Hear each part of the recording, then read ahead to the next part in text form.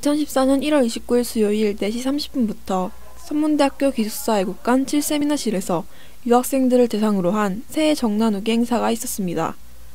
설날 연휴 기간 동안 고향에 가지 못하고 생활관에 거주하는 외국인 유학생들을 위해 간단한 떡국과 햇반, 반찬 등을 나누어 주어 한국의 고유 명절인 설의 정을 같이 나누고자 하는 행사로 학생 지원처의 후원을 받아 생활관에서 진행되었습니다.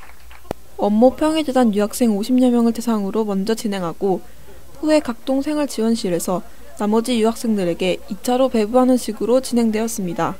아, 이번 행사는 아주 좋은 계획이고 아, 이런 아, 때 특별한 음식이 떡국이라는 거 아, 알고 나누는 거 아, 정말 다른 학생, 외국인 학생들도 아, 한국 특별한 음식 아, 설날에 먹는 거 아, 나누어 주는 거 아주 좋은 계획이라고 생각해요.